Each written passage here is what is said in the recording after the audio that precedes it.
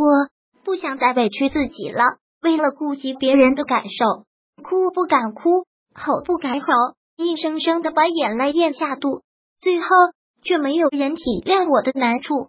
我不想再委屈自己了，因为懂事，因为宽容，因为善良，因为简单，一次次的让自己憋屈，一次次的让自己难受。我不想再委屈自己了，有什么不满说出来，受什么委屈发出去。